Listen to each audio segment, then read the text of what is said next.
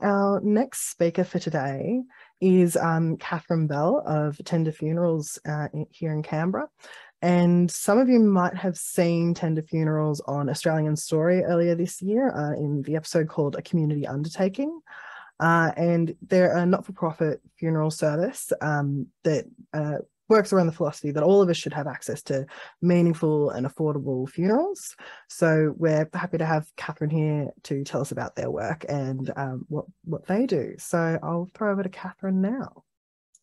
Oh, thank you, C. It's wonderful to be here. Thank you for inviting us. I would like to start by sharing a video, and um, C's got it queued up, ready to go. It's just a short little video that I'd like to share with you all.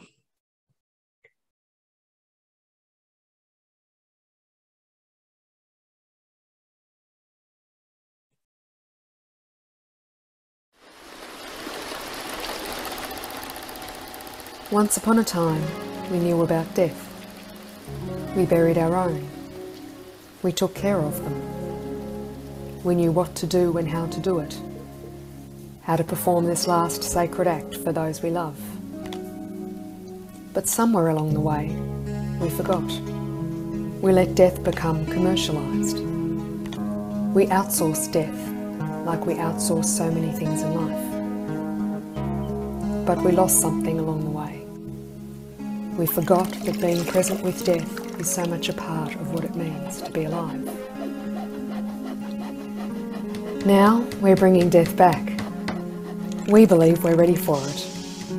We know death can be life changing.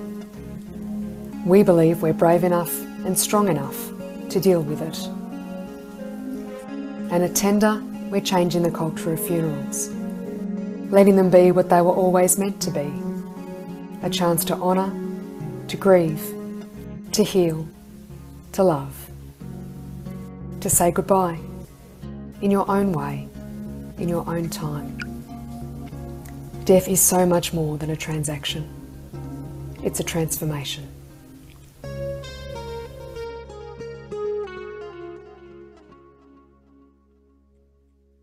Thanks, C. That video sums up the Tender story pretty well, the reason behind Tender starting. And the story of Tender started around 2012 down in Port Kembla when the community down there started to question why. Why is it so expensive? Why does it have to be so detached?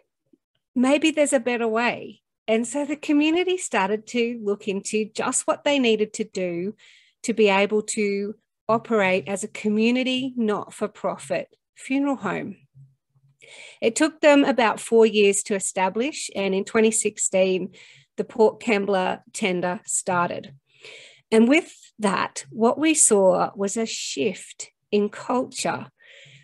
This was pretty magical to see people start to ask for more meaningful service, to be able to be more creative with their service, to be able to arrive at the funeral home and say, This is who we are and this is what we need, and to have that need met without having to go into debt. That was a pretty spectacular change.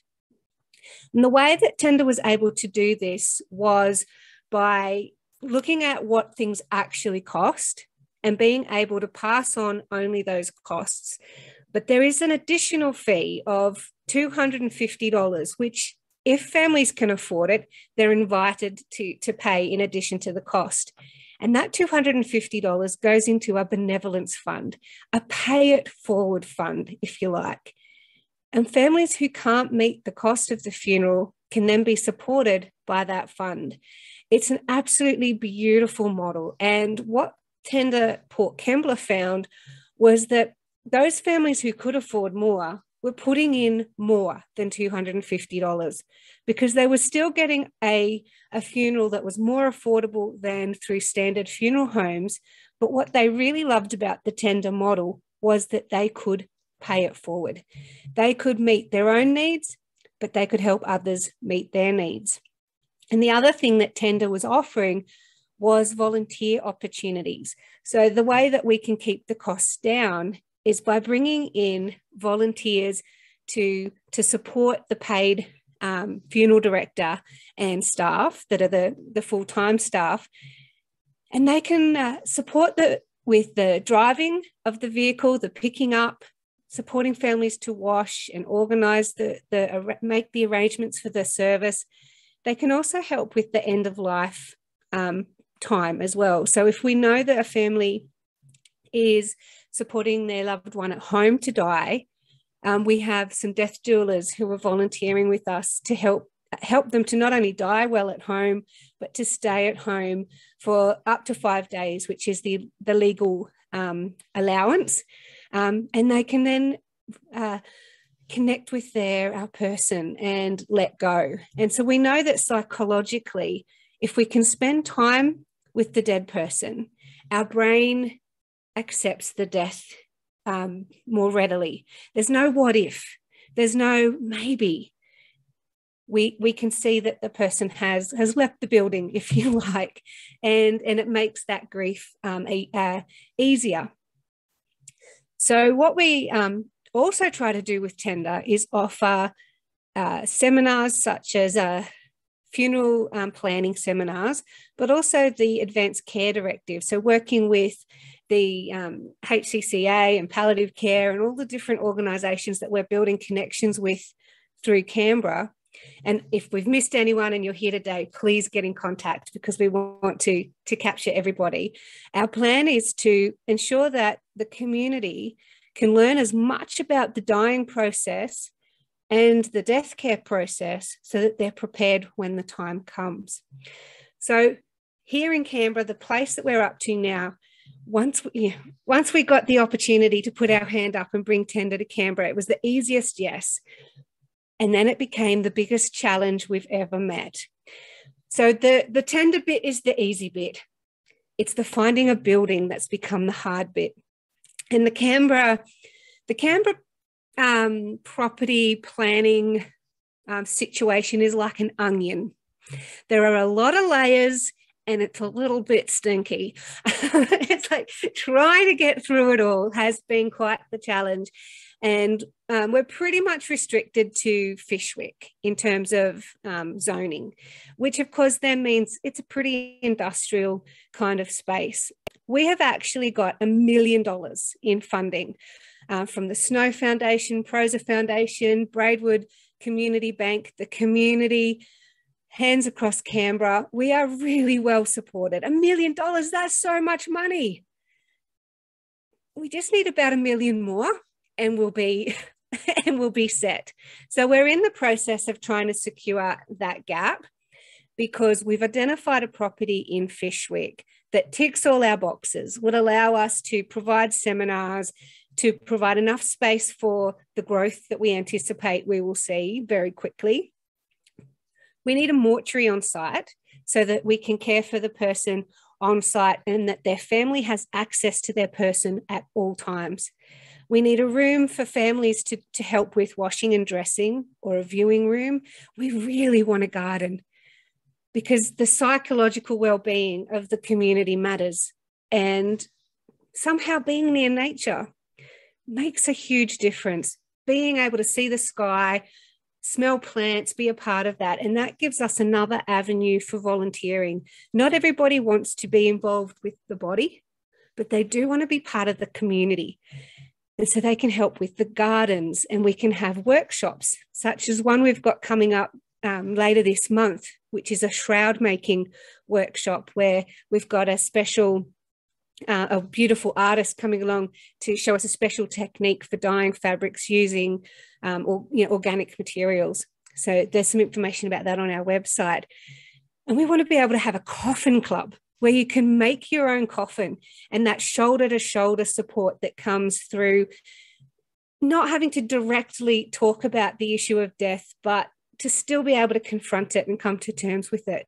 And so we've identified a, a brilliant property, and um, you know, fingers crossed, we can find the uh, the funding gap for that. The other thing we're trying to do is uh, get the ACT government on board, which has been a challenge, partly because the current community facility buildings are not in the right zone And for every building that they have, there is several community groups who are needing somewhere to, to be. So that's been a bit of a challenge. We are also looking across the border into Queanbeyan and trying to work with the Queanbeyan Council to, to find a property because ideally we can find a property without having to buy it. That would be perfect because every cost we have needs to be passed on. So we're at the point of trying to minimize our costs so that we can keep the average cost of a funeral to around the four and a half to five thousand dollar mark. Now, one of the that's a that's an all bells and whistles funeral. Uh, the comparative current average in Canberra is around seven and a half, and that's if you're having a cremation. Uh, a cremation in um, Canberra will cost you around a thousand dollars. But um, a burial in Canberra, um, if you want a green burial, you're looking at seven and a half thousand dollars just for the plot. If it's in the lawn cemetery, it's closer to ten thousand dollars. If you need to be in the mausoleum, you're looking at twenty thousand dollars. So that's a lot of money. Um, and that that's just for the the place where the body's going to be and then of course the other costs around the, the funeral include transport um, storing of the body and the paperwork that goes around that. And then, of course, if you want to have a massive party, there's no limit to how much you can um, spend.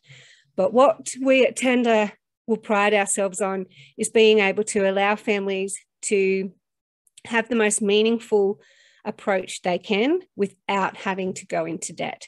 So, fingers crossed, this property works out and we will be operational early next year. But otherwise, I've got a call for action for people who are listening today who maybe they know something, maybe they know someone who might know something to help us to secure that building. Either you've got a million dollars sitting around, which would be fabulous, or um, you know someone uh, who uh, could help us to secure a property. And, um, and then once we're established, oh, it's just going to be magnificent. Can you imagine everyone coming together to embrace death, just as the little video um, showed? When we can connect with death, somehow we live more kindly, we live more fully, because when we recognize that we are mortal and that those around us are mortal, we tend to choose kindness more. And that's a pretty beautiful goal. So that's that's me in a nutshell and Tender in a nutshell in Canberra. And I would love to open it to a conversation because I imagine there's a lot of questions out there. Yeah, thank you, Catherine. Uh, let's throw it open to questions. Have folks got any? Any hands up? Otherwise, I've got a couple. I thought I saw some movement, but Oh, good. Uh, I've got one of the questions that came in from uh, our registrations. Um, have you got any advice for planning funerals for parents who haven't got any uh, superannuation or savings to go towards it?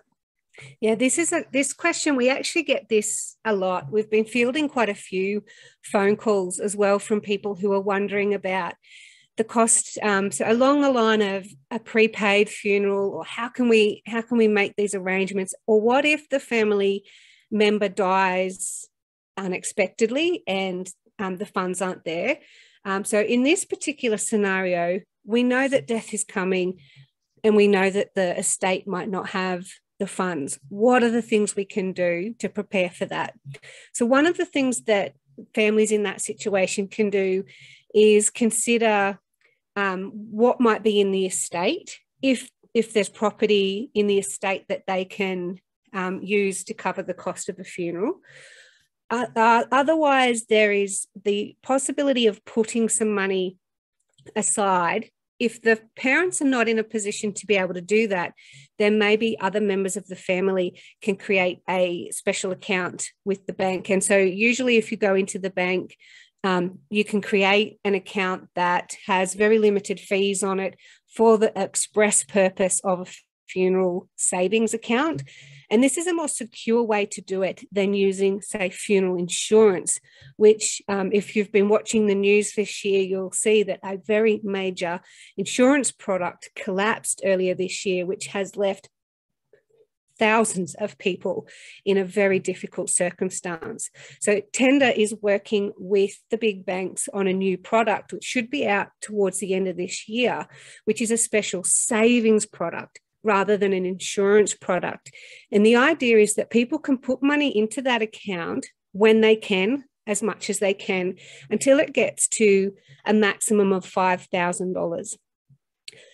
If they were to die before it reached the $5,000 and they were eligible, there will be a benevolence fund sitting underneath that. So it's been a long time in um, in the process to build this up because obviously as you can imagine the philanthropy underneath that fund um, needs to be quite substantial and um, they're trying to work out who will be eligible so originally it was aimed at aboriginal and torres strait islander people um, and then it um, in, in response to the collapse of those insurance um, schemes it um, they're trying to extend it into all low income people who um, who fit that bill um, because it's not fair that people miss out on a meaningful service. So what we're seeing is an increase in people using a direct cremation service, which can be two and a half to three thousand dollars in Canberra,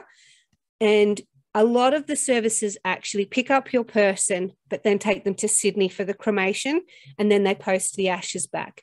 It's a no connection, very basic service. Literally pick up person, do some paperwork, cremate person, send back ashes.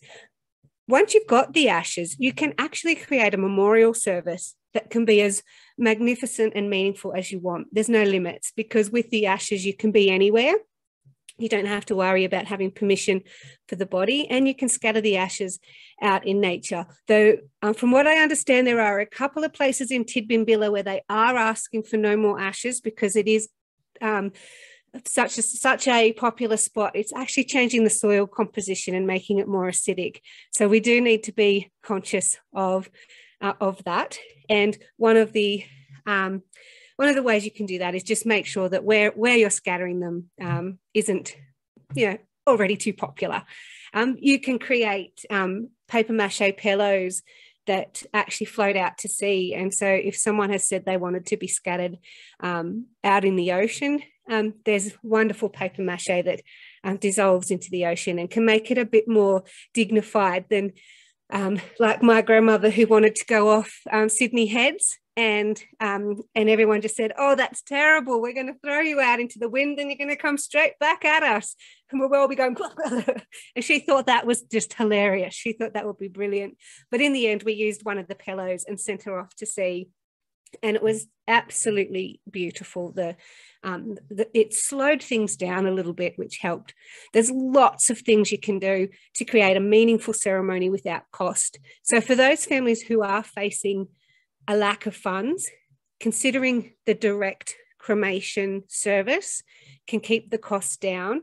And so then the family around them might be able to, um, between them, come up with the two and a half to 3,000 that's required to provide that service. Otherwise, there are um, no interest loans to um, a value of up to $2,000 that can be applied for um, which can be a solution if you needed to do that. Um, but if you can put a little bit aside um, going forward, um, it, it can make a big difference when the time comes because it will come. None of us are getting out of this alive. So let's make it as beautiful as we can. And um, uh, some people do also do crowdfunding.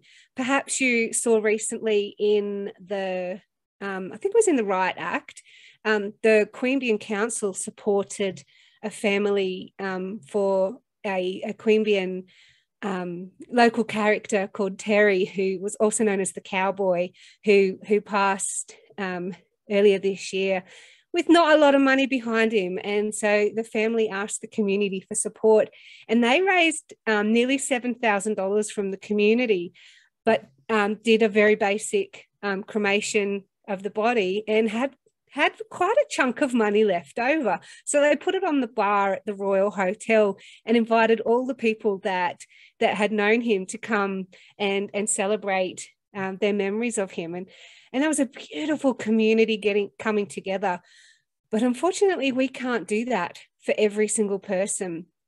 Um, and so that's a story that, as wonderful as it is, um, I think people would get donation fatigue very quickly if every few months we were, were being asked to, to chip in to a funeral. But for families, um, this might be something that happens once every few years. Um, sometimes they, they happen in quick succession, parents um, dying close together. So having um, five grand, you know, just sitting there, I think it's something like 20%, one in five people are actually able to do that it's very, very difficult to come up with two grand in an instant um, for most people. So having a bit of a, a savings plan can help for that. Um, and uh, that's where um, having tender in the community makes a big difference as well, because ultimately then the cost of the funeral is considerably less and we can help them to find out if they're eligible to Centrelink funds. Um, in the ACT, we also have a special fund which allows for up to $500, which actually isn't a lot. Um, it doesn't even cover the cost of a coffin. So um, the, but it, it can help. It can, um, you know, take, can, take, can make a bit of a difference. So there are a few options there and Tender can help people to work out what they are. That's, that's the short version. Certainly, there's, there's a good few options there and every little bit helps. Has anyone else got any other questions or even ideas um, around any of this?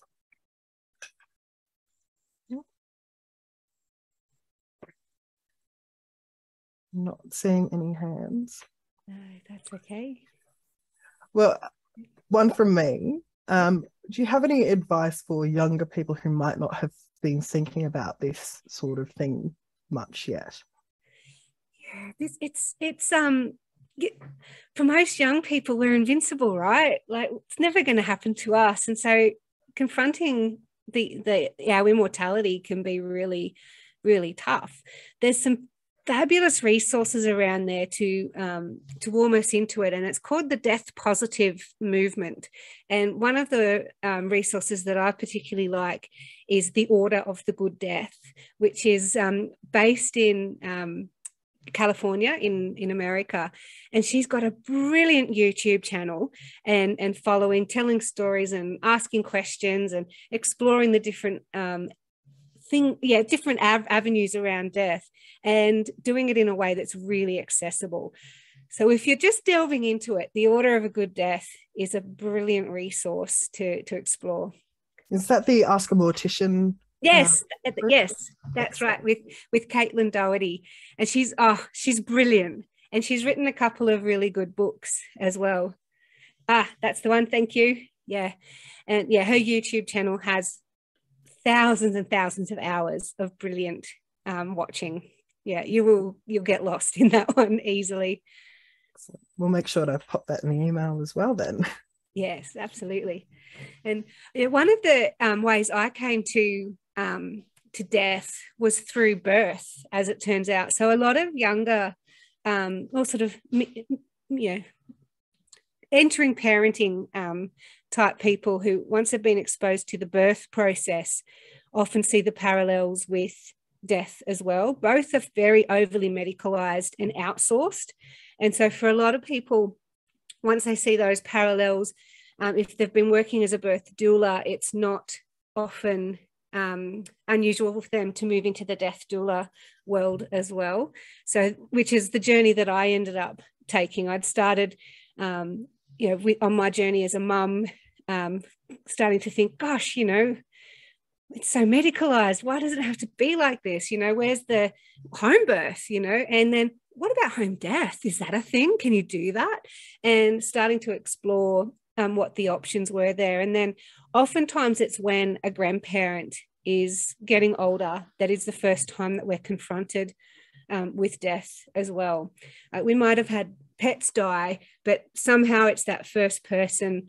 Um, and it, the death of a grandparent is actually really significant um, to to uh, to the young people. So uh, that can be a really beautiful opportunity for young people to explore death. And I think it's um, it's good to include children in conversations about death so that if they um, have the opportunity to extend to attend a funeral it uh, it can be actually really good to allow them to be part of that process a lot of people talk to us about how they they were excluded from the death of a grandparent when they were younger and they never really understood what had happened. And it was only later in their life that they realized they'd uh, miss, missed out on something. So what tender uh, always does is gives family the opportunity to see the body.